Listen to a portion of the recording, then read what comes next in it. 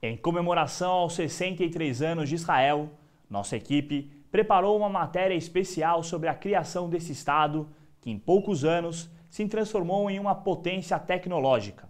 A terra de Israel é o local de origem do povo judeu. Aqui, sua identidade espiritual, política e religiosa foi moldada. Com essas palavras, Ben Gurion iniciou a leitura da Declaração de Independência do Estado de Israel. No dia 14 de maio de 1948, um momento glorioso para o povo que, mesmo com a dor do Holocausto, ainda tinha forças para enfrentar os desafios e restabelecer sua terra natal. Hoje, 63 anos depois, podemos dizer Am Israel Hai. Podemos cantar Hatikva e nos emocionar cada vez que ouvirmos essa profunda melodia. Podemos olhar para trás e ver que estas tragédias não destruíram nosso povo, mas sim nos deixou mais fortes.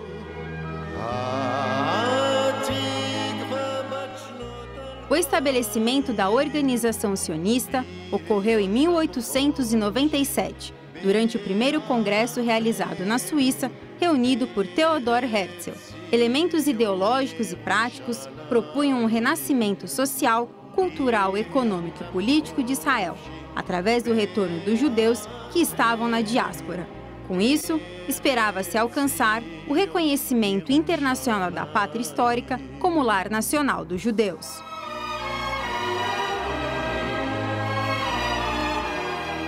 Apesar deste grande avanço, o sonho da independência ainda estava longe. Em 1922, a Liga das Nações confinou à Grã-Bretanha o mandato sobre a Palestina, nome designado para o país na época.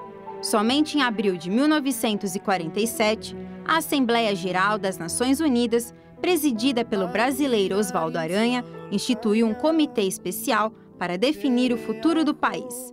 Baseando-se nas populações estabelecidas na região, foi feita a proposta de partilha. Assim, os judeus receberam 55% da área e os árabes rejeitaram a divisão. Brazil? Yes. United States? Yes. The resolution of the DUC Committee for Palestine was adopted by 33 votes, 13 against, 10 abstentions.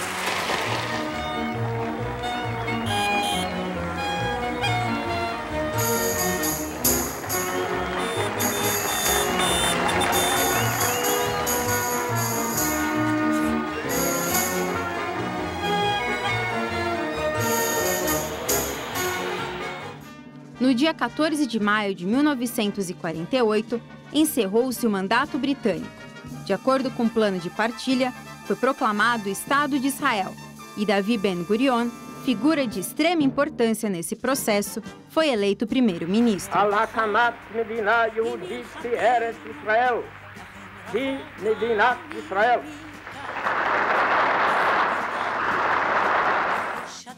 A fúria dos que não reconheciam o Estado de Israel aumentou quando o país tornou-se o 59º membro das Nações Unidas.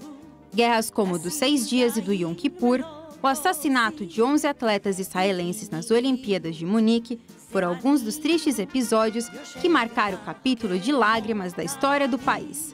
Na década de 90, judeus do mundo todo choraram a morte de Isaac Rabin, o responsável pelo acordo de paz com a Jordânia e pelas incansáveis tentativas de diálogo com os palestinos. Antes mesmo da independência de Israel, a infraestrutura nas áreas científicas e tecnológicas já estavam estabelecidas com base no sonho de transformar a região, até então estéril e infestada de doenças, em um estado moderno e sustentável. O gotejamento, por exemplo, viabiliza a agricultura em locais de clima árido.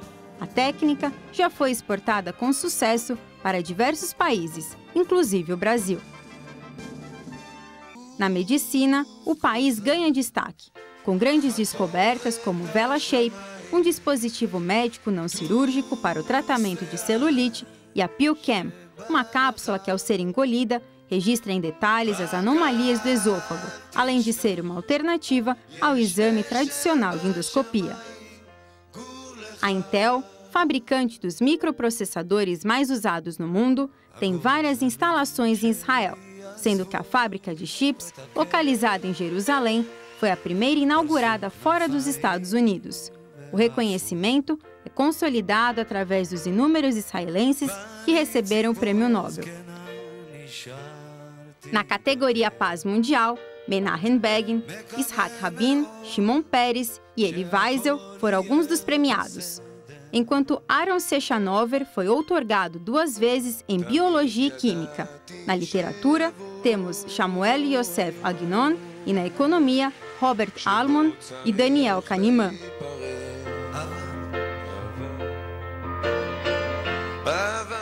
Politicamente, Israel vem desde sua fundação enfrentando conflitos com os países vizinhos no Oriente Médio. Talvez um dos que mais chame a atenção está relacionado às frustradas tentativas de acordo com palestinos. Desde 2004, Israel retirou todos os assentamentos israelenses de Gaza e da Cisjordânia. Em janeiro de 2006, o Hamas venceu as eleições parlamentares, fato que acirrou o conflito, pois o grupo não aceita a existência de Israel e prega sua destruição. Intifadas, ataques suicidas e lançamento de foguetes no território israelense demonstram a violação dos direitos humanos, nepotismo e corrupção por parte do movimento de resistência islâmica, conhecido internacionalmente como grupo terrorista. Elie Wiesel disse certa vez que Israel é uma nação cuja maior arma é o conhecimento e a educação. Esses aspectos complementam algo não menos importante. Israel é a única democracia do Oriente Médio. Pluralista, essa nação promove diversidade cultural, a liberdade de expressão e de culto, além de lutar incansavelmente contra o terrorismo que a guerra seja uma página virada, permanecendo somente a harmonia e a paz entre todos os povos que vivem em Eretz Israel.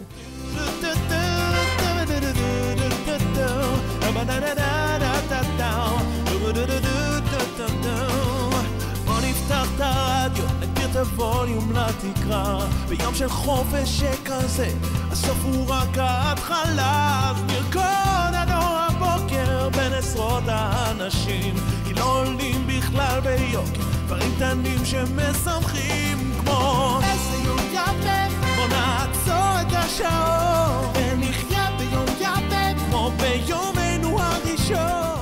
programa de hoje termina com as imagens vindas de Israel da celebração oficial do Yom Ha'atzmaut no Monte Scopus, em Jerusalém. Para assistir esse programa e os anteriores, acesse o site www.shalombrasil.com.br. Shalom Brasil e até a semana que vem.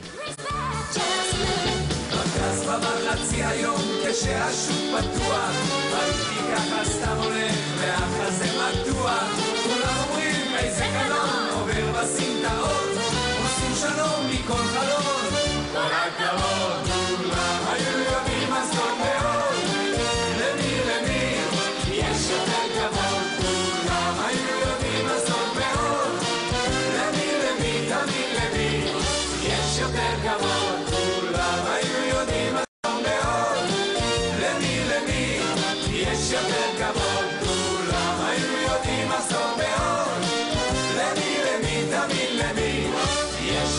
הכבוד,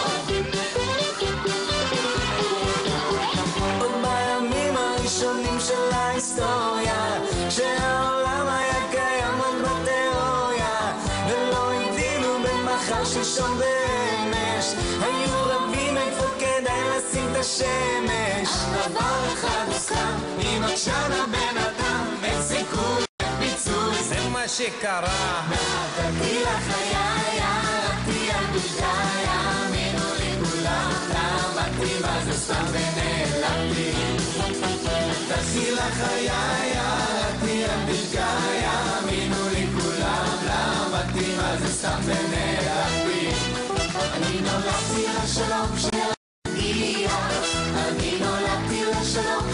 After all.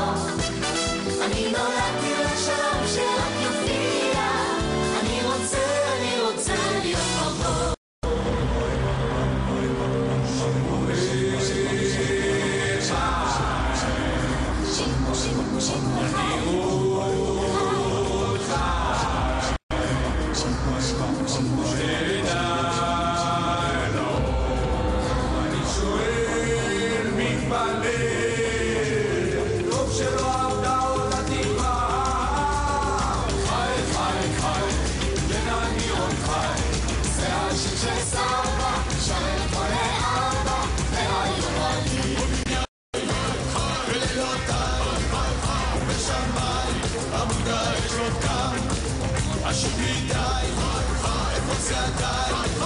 היא ידידיי